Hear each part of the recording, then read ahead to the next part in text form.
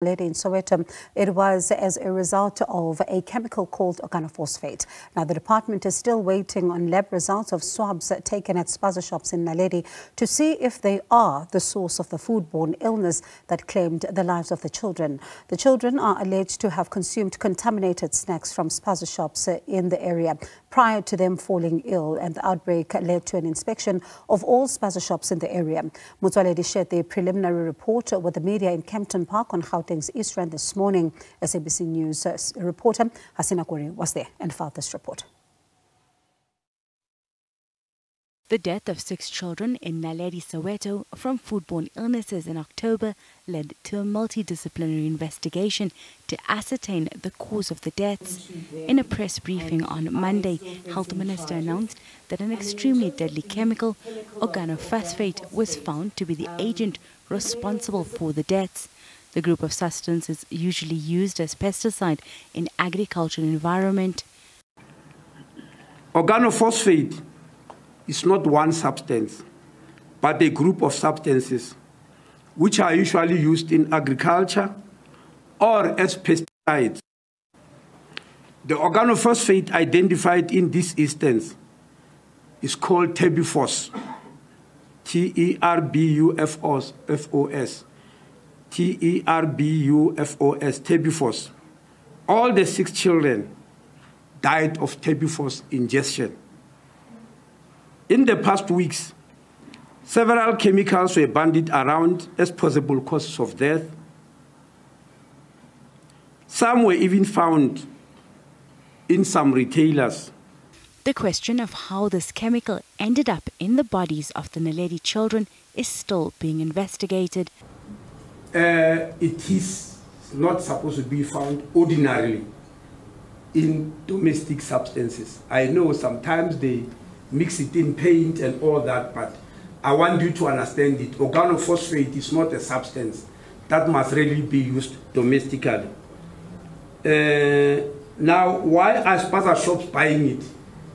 Our theory is, until we are proven otherwise, is that they are using it as pesticides to kill rats specifically because I want to believe that there are rats in quite a number of spaza shops since communities, it's also been sold to communities for killing rats whereby they are not preferring Ratex. So we believe, we believe it came into spaza shop in that manner. But as I'm saying, we still have to prove scientifically it, its presence there Four people were arrested last week for possession of other chemicals used as pesticide. However, this is not organophosphate. As an integrated team, we were also advised by the department that uh, these suspects could be released. On a warning, we released them on J534 and they ultimately paid uh, 2,000 rand. Um, admission of guilty. The reason is that the suspects be released as they are not the manufacturers for those chemicals. The incident highlighted the issues around the irregulated township economy. A special team is currently working on registering spaza shops across the country. To assist spaza shops with registrations because it is important that they be registered so that we can know in a particular street the street, there are so many spaza shops and who's running them. We're working with the ward councillors, with the CDWs, including the wholesale and retail SETA, which has just sponsored uh, appointment of 200 unemployed graduates to complement the existing, existing personnel at the local level. The ministry is still awaiting results from swabs taken at the spaza shops to determine if the chemical was present. Hasina Gori, SABC News, Johannesburg. Let's speak now to Professor Lucia Anelich, who's a food hygiene expert and one of the country's experienced food microbiologists, who's joining us live now to answer some of the questions you have, as well as the questions that we have tonight following that briefing earlier on today. Prof, good evening to you and thank you so much for your time. I mean, one thinks about the fact that people shouldn't be getting their hands on these pesticides as we are hearing that these are banned, but what makes them so lethal? Um, good evening. Yes, the, the, most chemicals that are used in the pesticide industry are designed to kill something, to control something.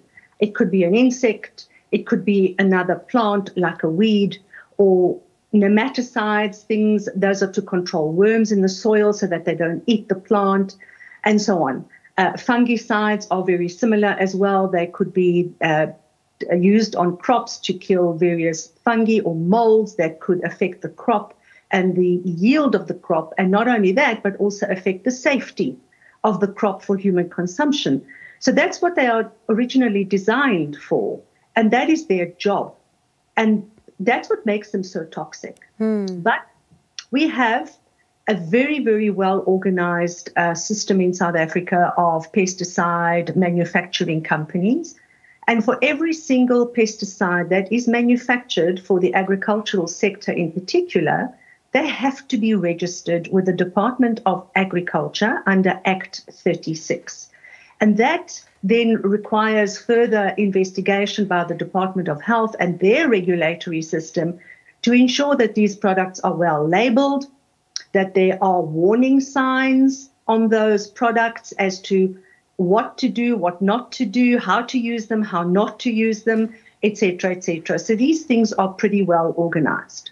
And it sounds like not everyone then um, should be able to get their hands on them. And that may suggest that potentially there might be lapses in the system if people are able to get their hands on them? Absolutely. There must be a way of uh, supply through to these people in the domestic environment because they are not supposed to be used in the domestic environment. It's like any other toxin, really, that is out there. Uh, you know, petrol, for example. Petrol, if you drink petrol, you're definitely going to get sick and you might even die from that because it was never designed to be used as a beverage. It is used for your car, obviously. So these are the issues that we have to face. These are regulated products that are used in a completely illegal and unregulated manner. Mm. And why are, you know, are children more susceptible to, to, to pesticide toxicity um, and, and, other environmental toxicants, for example, than adults? Well, be, simply because of their size. I mean, they are small, they don't have a very strong immune system, and uh, their tissues are still multiplying rapidly, so their uptake of these chemicals is a lot faster. Uh, and of course, their body weight. So most of these chemicals, in fact, all of them are uh, developed with body weight in mind. So we do say the toxicity of a chemical is so many milligrams or micrograms per kilogram body weight. So you can definitely see that somebody who weighs 12 kilograms is going to have a far more significant effect than somebody who weighs 80 kilograms and and that's just the nature of, of what we of, of the human being and what and what we are composed of. So, Prof, is there also, um, you know, some specifications as to say those who get their hands on the on these, um, you know, particular pesticides, for example, and are trained in them, are they then told how to store them as well? Absolutely. The trained professionals that are also registered with the Department of Agriculture and are licensed to handle these uh, chemicals must also understand and know how to store them, how to transport them, and how to use them on site and under what conditions. So, for example, if you're using a fumigant in the food industry, the food manufacturing industry, large food manufacturing plants, some of these fumigants are very toxic. And therefore, equipment has to be covered the room has to be completely evacuated. No workers may be in the room. And then these plants are fumigated for a 24 hour period, for example, by trained professionals. And all of these uh, precautionary measures have to be in place before such a fumigant is allowed to be uh, released into that environment. So we're hearing about, for example, Aldicarb, we hear about carbamates, um, you know, among others. Are there any other dangerous substances that we should be aware of? Well, most of these things are dangerous if not used in the correct manner. But what I want to make very clear here is aldicarb as a carbamate is illegal in South Africa it is no longer produced in the country and it was banned 10 years ago. So if it's getting into the country, it's coming in illegally and it's not registered with the Department of Agriculture as a pesticide that may be used in the country for any application whatsoever. Organophosphates, on the other hand, are registered and permitted in this country, as in many, many other countries in the world, under specific conditions uh, and used by specific uh, pra- uh, practitioners that are able to use these products in the correct manner. And that's the differentiation I really want to make here. Mm. So, so Prof, pardon me, it should concern us then that we're hearing of cases where people have, you know, are said to have consumed Aldicarb. Absolutely, it is. It is a highly toxic material, and uh, you only need a, about a, a tenth of a teaspoon to actually hurt an adult very, very badly and potentially cause death quite quickly. So we mustn't discount the fact that because we found, or the Department of Health found organophosphates in the in the uh, autopsy results of these uh, tragically ch- tragic children who died from this uh, uh pesticide, we mustn't discount the fact that Aldicarb is still out there. It is still extremely toxic and uh, I would I would hate to have the focus removed from Aldicarb and only focused on organophosphates because the, the one and a half kilograms of Aldicarb that was confiscated from a mall in Johannesburg is extremely, extremely concerning. Prof, I do understand we have a voice note. It's a question um, from a viewer. Let's listen in. Hello. Can SABC News please uh, help us to get be informed about how we can easily, how our children can easily uh, recognize when these organophosphates are present in food, please?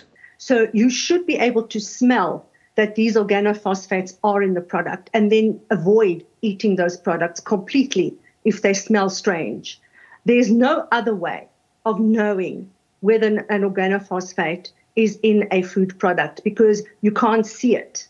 You can't necessarily, uh, well, you could probably taste it if it smells bad, but by that time, you might have already ingested some of it, and depending on the concentration that you are ingesting, it might actually already be hurting you and causing illness. So, Prof, how then do, do we know, um, you know, if it's food poisoning or poisoning? Well, it, it's a little bit of a gray area. This, you know, food-borne disease is usually caused by microorganisms of various kinds, including bacteria, viruses, fungi, their products, their toxins that they might produce in food. But we also understand that chemical contamination can also be regarded as foodborne disease. The difference here is that this chemical should never have been in the environment of the food. It should never have been stored or used in any way in the environment. So, this is more what we would call an adulteration of food. In other words, something that should never have been there, but for this illegal reason, it is there. And therefore, we regard it more as an adulteration of food rather than true food poisoning. Now, when it comes then to, of course, some of those who are concerned, who are saying that, um, you know, tonight, like Nkosekona, for example, who says, I think they use these blends of pesticides to repel rodents in their warehouses. And this is an indictment uh, to the Department of Health to deploy their health inspectors to, to both spaza shops and the warehouses. Some are saying that um, if you are using this to repel rodents, you, you should also be taught how to do this correctly. Yes, you should, but you shouldn't be using it in the first place to repel rodents in a domestic environment, including a small spaza shop. We must also just be clear that the environmental health practitioners cannot be there every single day or, or once a week or even once a month. So they will inspect, and then, uh, according to Regulation 638, which is your basic food hygiene, transportation, and storage regulation. And if they see things are looking good, then they will uh, issue the so-called certificate of acceptability.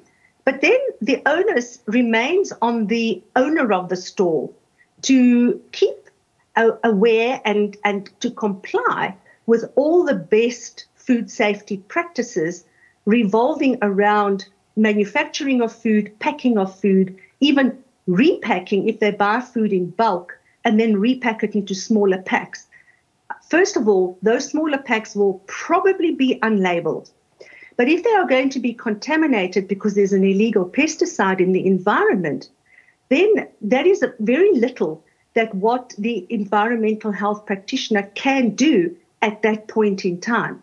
The only thing they can do is investigate together with the police and have a concerted effort to cut this the head of the snake off completely of this supply chain. So they mm. have to go back and find out how is these how are these products getting into these domestic environments and stop that from happening and have to go back and look at how does algae, aldicarb, which is an illegal pesticide, get into the country in the first place and cut that supply chain off completely.